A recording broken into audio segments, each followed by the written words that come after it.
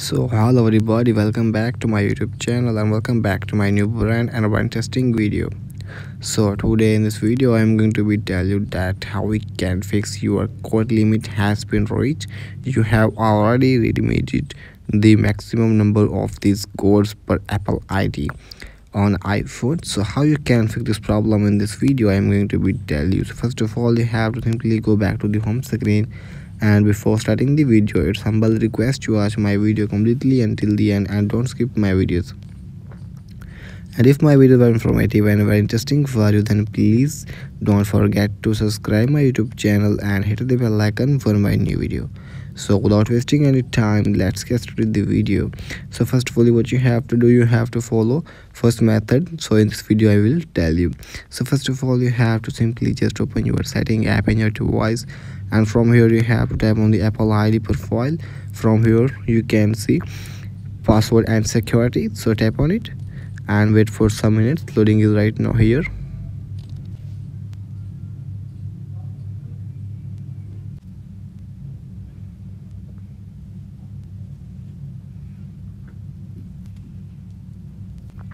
so guys from here what you have to do you have to tap on the change password option and wait for some minutes again.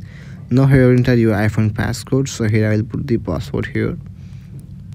After that wait for some minutes again and now guys from here what you have to do you have to change your apple id password for one time. And after that what you have to do change your password then go back to the home screen and simply check that your problem has been fixed or not. And guys other method is that what you have to do. You have to just open your again setting. And once you open your again setting now from here what you need to do you have to tap on the apple id name again.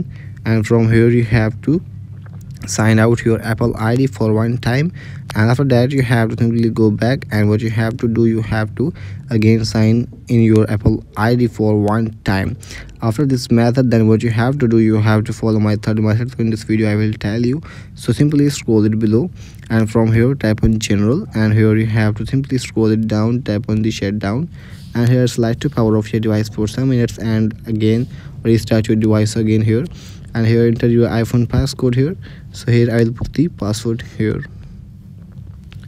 After restart your device now you have to simply check that your problem has been fixed or not so guys after this method you have to simply go back to the home screen and check that your problem has been fixed or not. So guys i hope your problem has been fixed. If your problem has been fixed then please don't forget to subscribe my youtube channel and hit the bell icon for my new video. So hope this helped. Thanks for your time today and i will see you on the next one